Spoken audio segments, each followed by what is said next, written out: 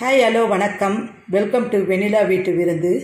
இன்றைக்கி செய்ய போகிற டிஷ் என்னென்னா குடைமிளகாய் கிரேவி எப்படி செய்கிறது பார்க்கலாம் வாங்க.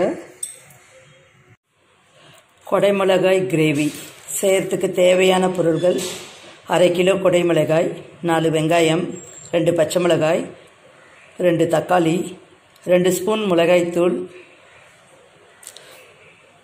ஒரு ஸ்பூன் மஞ்சத்தூள் இஞ்சி பூண்டு விழுது ஒரு ஸ்பூன் அஞ்சு முந்திரி பருப்பு பட்டை லவங்கம் ஏலக்காய் ரெண்டு ரெண்டு கறிவேப்பிலை சிறிதளவு தேவைக்கேற்ற உப்பு தேவைக்கேற்ற எண்ணெய். இதில் வெங்காயம் தக்காளி பச்சை மிளகாய் எல்லாம் பொடிசாக நறுக்கி வச்சுக்கலாம். கொடை மிளகாவை நறுக்கி வச்சுக்கலாம். இஞ்சி பூண்டு விழுதாக அரைச்சி வச்சுக்கலாம். பாருங்கள் எல்லாம் கட் பண்ணி வச்சாச்சு. வெங்காயம் பச்சை மிளகாய் இஞ்சி பூண்டு தக்காளி கொடை மிளகாய்.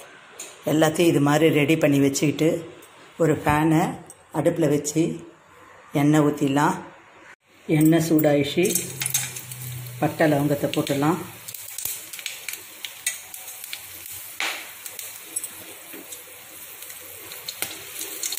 நல்லா வறந்துடுச்சு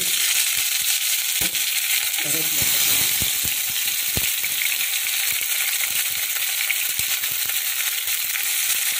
வெங்காயத்தை போட்டுடலாம்.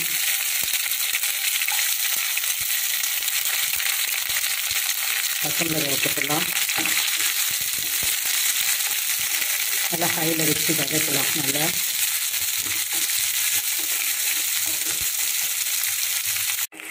வெங்காயம் நல்லா வதங்கிச்சு. இஞ்சி பூண்டு போட்டுக்கலாம்.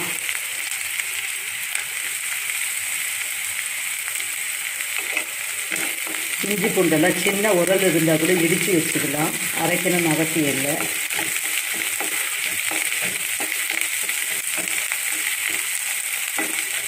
இதெல்லாம் வதங்கிறதுக்குள்ளே இந்த அஞ்சு முந்திரி பருப்பை லைட்டாக சுடு தண்ணியில் போட்டு ஊற வச்சுக்கலாம்.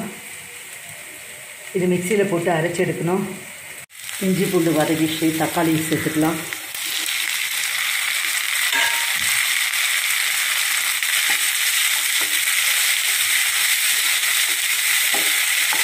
நல்லா வதக்கிடலாம். இது நல்லா வதங்கிறதுக்கு கொஞ்சோண்டு உப்பு சேர்த்துக்கலாம்.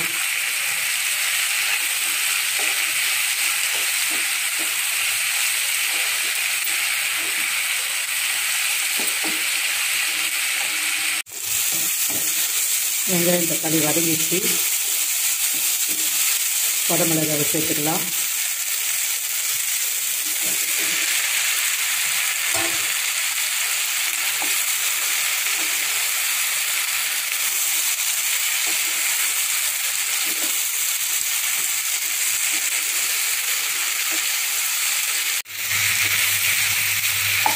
குடமிளகாய் நல்லா வதங்கிட்டு இருக்கு இதுலேயே மஞ்சள் சேர்த்துக்கலாம்.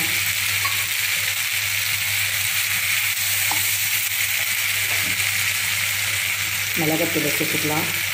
காரம்லாம் உங்களுக்கு சுவைக்கு ஏற்ற மாதிரி நீங்கள் சேர்த்துக்குங்க. நான் ரெண்டு ஸ்பூன் மிளகாத்தூள் சேர்த்துட்டேன் தேவையான அளவு உப்பு சேர்த்துக்கலாம்.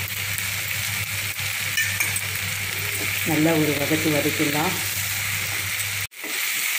நல்லா வதக்கி விட்டாச்சு.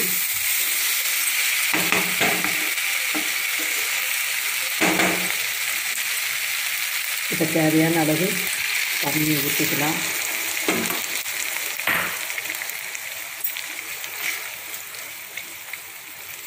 நமக்கு எவ்வளோ கிரேவி வேணுமோ அவ்வளோ தண்ணி ஊற்றிக்கலாங்க இதில் ரெண்டு கிளாஸ் தண்ணி ஊற்றிக்கலாம் தேவையான அளவு தண்ணி ஊற்றியாச்சு உப்பு காரம் செக் பண்ணிக்கலாம். செக் பண்ணிவிட்டு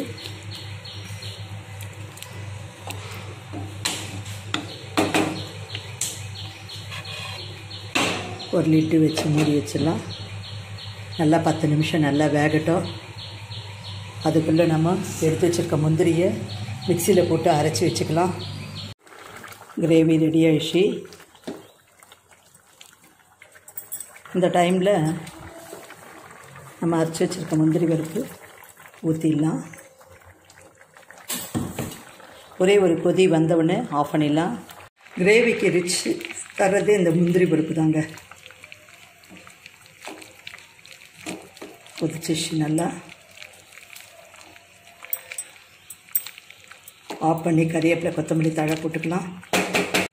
அருமையான குடமிளகாய் கிரேவி ரெடி ஆயிடுச்சு.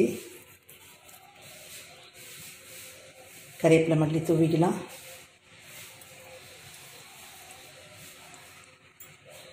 இட்லி தோசை பூரி சப்பாத்தி. இதுக்கு செமையான ஒரு சைட் டிஷ்ஷு கொடைமிளகாய் கிரேவி நீங்கள் எப்பவும் செய்கிற டிஷ்ஷை விட்டுட்டு இந்த கிரேவியை செய்து பாருங்கள் உங்களுக்கு ரொம்ப பிடிக்கும். இந்த கிரேவியை செய்து பார்த்துட்டு சாப்பிட்டு உங்களோட கமெண்ட்ஸை பதிவு பண்ணுங்கள் இந்த வீடியோ பிடிச்சிருந்ததுன்னா லைக் பண்ணுங்கள் ஷேர் பண்ணுங்கள் கமெண்ட்ஸை பதிவு பண்ணுங்கள் நன்றி வணக்கம்.